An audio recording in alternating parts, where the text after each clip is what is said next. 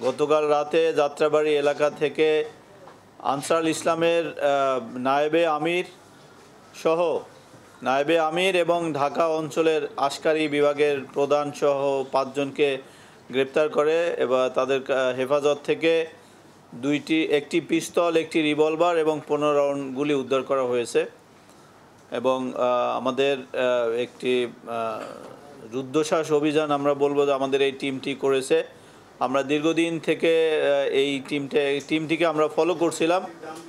এর মধ্যে যিনি নায়েবে আমির, তার নাম হচ্ছে শাখাওয়াতুল কবির আলাইস আনিস এবং এই শাখাওয়াতুল কবিরের জঙ্গি জীবনের ইতিহাস অত্যন্ত সুদীর্ঘ। সে দুই হাজার দুই সালে বাংলাদেশে যখন আনসার ইসলামের মাতৃ সংগঠন জমিয়তুল মুসলিমিন তৈরি হয় এবং জমিয়তুল মুসলিমিনের গর্ব থেকেই পরবর্তীতে এই আনসার ইসলামের সৃষ্টি আপনারা যারা এই জঙ্গিবাদ নিয়ে কাজ করেন, তারা হয়তো অনেকেই জানেন, এই জমিয়তুল মুসলিমিন থেকেই সে তার এই জঙ্গিবাদে দীক্ষা পায় এবং ওই সময়ের আনসার ইসলামের যিনি আমির ছিলেন, এজাজ কার্গিল, সে ওই এজাজ কার্গিলের দ্বারা রিক্রুটেড হয়। এজাজ কার্গিলের দ্বারা রেডিকালাইজড হয়ে সেই সংগঠনে যোগ দেয় এবং এবং শেষ সময় পর্যন্ত এজাজ কার্গিলের সাথে ছিলেন। আপনারা জানেন বাংলাদেশে আনসার ইসলামের প্রথম আমির এজাজ কার্গিল, যিনি পাকিস্তানে ড্রোন হামলায় নিহত হয়েছিলেন। সে এজাজ কার্গিল দুই হাজার দশ সালে এই আনসার ইসলামের আমি নিযুক্ত হয়। সে তখন এই শাখাওয়াতুল কবিরকে নায়েবে আমি নিয়োগ দেওয়া হয় আনসার ইসলামের। এবং দুই হাজার চোদ্দ সালে যখন এজাজ কার্গিল পাকিস্তানে চলে যায় পরবর্তীতে এই এজাজ কার্গিলের মাকে নিয়ে শাখাওয়াতুল কবির পাকিস্তানে যায়।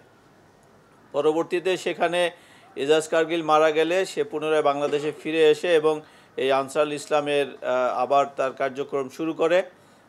পরবর্তীতে দুই হাজার পনেরো সালে আমাদের ডিটেকটিভ ব্রাঞ্চ তখন সিডিডিসি ছিল না, আপনারা জানেন।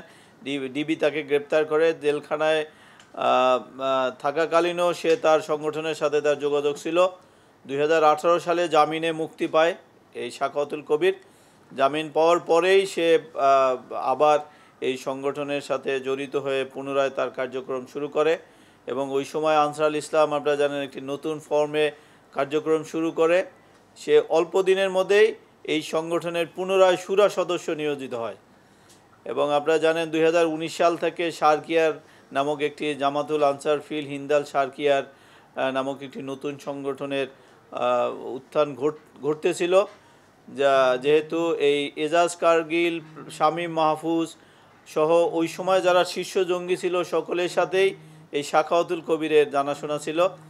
পরবর্তীতে আনসার ইসলাম যখন এই শাখা, এই- শামীম মাহফুজের এই সংগঠন সম্পর্কে অবগত হয় আনসার ইসলাম থেকেই শাখাওয়াতুল কবিরকে দায়িত্ব দেওয়া হয় এই সংগঠনের সাথে যোগাযোগ করার জন্য। এবং আমরা ইতিপূর্বে সার্কিয়া সম্পর্কে বিভিন্ন ব্রিফিং আপনাদেরকে বলেছিলাম যে সার্কিয়ার সাথে একাধিকবার এই আনসার ইসলামের মিটিং হয়েছে এবং এই শাখাওয়াতুল কবিরকে এবং শামীম মাহফুজকে জিজ্ঞাসাবাদে আমরা ঠিক একই তথ্য পেয়েছি। আনসারুল ইসলামের পক্ষ থেকে সেই মিটিংয়ের নেতৃত্ব দিতেন এই শাখাওয়াতুল কবির। এবং আহ, আহ, ই- আনসার ইসলামের পক্ষ থেকে আনসারুল ইসলাম এই শামীম মাহফুজকে তথা জামাতুল আনসার ফিল হিন্দাল সার্কিয়াকে অস্ত্র সংগ্রহের জন্য যে টাকা দিয়েছিল সেই টাকাটা এই শাখাতুল কবির মাধ্যমে আনসারুল ইসলাম শামীম মাহফুজকে দিয়েছিল।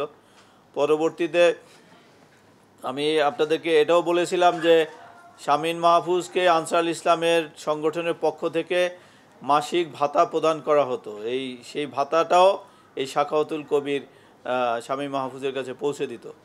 তো এরকম একজন শিষ্য জঙ্গিকে আমরা গ্রেপ্তার করতে সক্ষম হয়েছি এবং তার দ্বিতীয় যে ব্যক্তি সে তিনি হচ্ছেন আহ, ইসানুর রহমান এলাইস সাইদ এবং তার সংগঠনে সে সাইদ নামেই পরিচিত। জানেন তো প্রত্যেকটা ব্যক্তিরই এক একটি সাংগঠনিক নাম দেওয়া হয় সাইদ নামে এবং এই সংগঠনের সে আশকারি বিভাগ, আপনারা জানেন যে এই আশকারি বিভাগ হচ্ছে যারা বিভিন্ন অপারেশন পরিচালনা করে। সেই অপারেশনে ঢাকা অঞ্চলের কমান্ডার ছিলেন এই সাইদ এবং সে ড্যাফোডিল ইউনিভার্সিটি থেকে দুই হাজার বিশ সালে টেক্সটাইল ইঞ্জিনিয়ারিং মাস্টার সম্পন্ন করেছেন। পরবর্তীতে দুই হাজার সতেরো সালেই সে এই সংগঠনে যোগ দেয়। দুই হাজার সতেরো সাল থেকে তার নিজ সাংগঠনিক দক্ষতায় এই দুই হাজার বাইশ সালে তাকে এই অঞ্চলের ঢাকা অঞ্চলের আহ, আশকারি বিভাগে দায়িত্ব দেওয়া হয়। এবং সে সপরিবারে আত্মগোপনরত অবস্থায় ছিল। দুই হাজার আঠেরো সাল থেকেই তার পরিবারের থেকে পরিবারের সাথে তার আর কোনো যোগাযোগ ছিল না। সে আত্মগোপনে থেকে এবং তাদের সাংগঠনিক ভাষা যেটাকে বলে এই সাইদ হচ্ছে সংগঠনের ফুল টাইম মেম্বার তার অন্য কোনো পেশা নাই। সে সার্বক্ষণিক এই সাংগঠনিক কাজ পরিচালনা করত। সংগঠনের অন্যান্য আশকারী সদস্যদের প্রশিক্ষণ দেয়া এবং নতুন আশকারী সদস্য নিয়োগ দেওয়া, তাদের দাওয়া বিভাগের তাদের উদ্বুদ্ধ করা, এই সব কাজগুলোই তার নেতৃত্বে পরিচালিত হতো।